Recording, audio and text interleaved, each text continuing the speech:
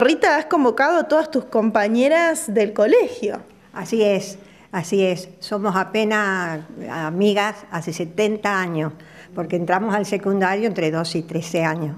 Así que 65 años que nos recibimos de peritos mercantiles.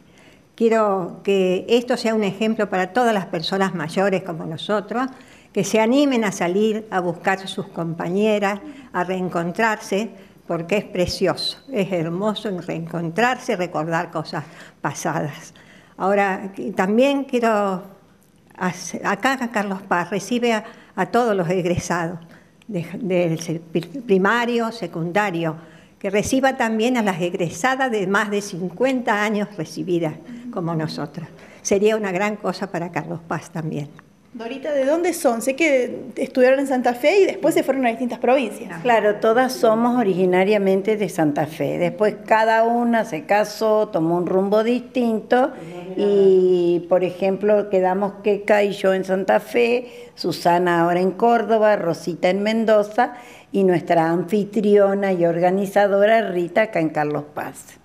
Bien, ¿cómo hacen para mantener vivo esta amistad luego de tantos años y también de que cada una haya tomado sus propios rumbos, no? Es lo que hemos sembrado cuando éramos chicas. Fuimos muy compañeras, sumamente unidas, nos queríamos muchísimo, jamás nos hemos peleado, eso también es importantísimo. Y el recuerdo es tan fuerte que recibís la convocatoria y no podés negarte. Ayer a mí me han hecho llorar cuando me mostraron el colegio, por ejemplo. Y te imaginas 65 años sin estar, pero sigue vivo, sigue vivo el amor por mí, por, por nosotros y por el colegio. Yo pienso que es una, también un, ejemplo, no me quiero poner como ejemplo yo, pero este, esta situación es un ejemplo para los jóvenes que cuando hay una verdadera amistad, un verdadero cariño y hay mucho amor, no se borra nunca. Pasa el tiempo y, cada, y ahora nos damos cuenta que yo creo que nos llegamos a querer más estos días, más de lo que nos queríamos. Y bueno, y nos sentimos como de 20, chicos, espiritualmente. claro. ¿Su familia qué piensa cuando los ve así unidas después de tantos años? Y, bueno, mira, ¿qué, qué me decís? ¿Su familia cómo? ¿Qué piensa? Nada, están todos enloquecidos, la familia de todos, nos viven mandando WhatsApp, teléfono. y nos recomiendan que no hablemos mucho, que nos pongamos de acuerdo, esa es la verdad. Los hijos de ella, los míos me recomiendan, no hablen mucho, mamá, no hablen mucho. los hijos de ella también nos conocen. Muchos recuerdos, me imagino, ¿no? Con nosotros, Me imagino que muchas anécdotas son las que están viviendo, las que viven y las que recuerdan. Es la banderada. no, no, para nada, para nada eso, no. Eh, escúchame. El cerebro. Eh, eh, pasa lo siguiente, yo quiero rectificarla un poco a Susana, porque dije, dice nunca nos peleamos, pero por ahí algún novio nos robamos. ¿eh? Teníamos una líder para conseguir novio, o sea que la Tenés razón, yo tuve un candidato que se enamoró de dos de nosotros.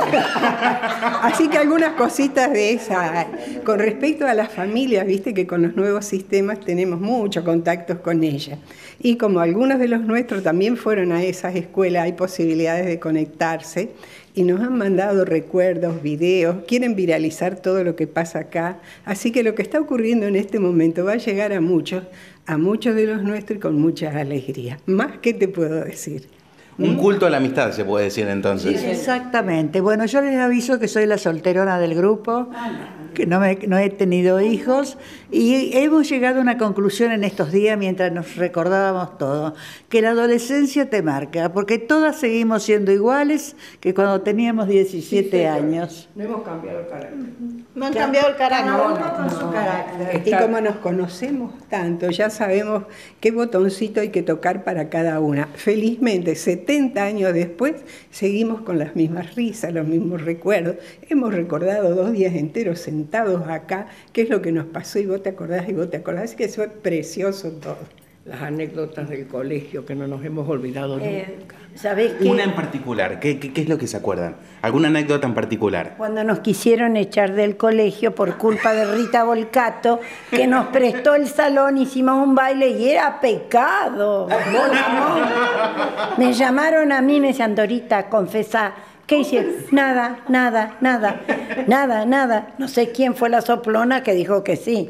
Yo no fui, ¿eh? ¿Sabés lo que logramos con eso? Que la- el dinero que habíamos juntado para el viaje de estudio, las monjas lo confiscaron y se hicieron las cortinas de la sala del colegio. Y nos dejaron en banda, por no decir otra cosa.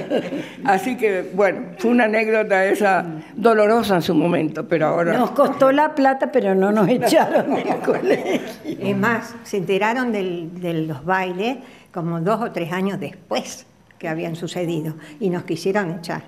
Para no querían formar el quinto año y éramos las primeras peritos mercantiles que nos recibíamos del colegio. Así que lo logramos.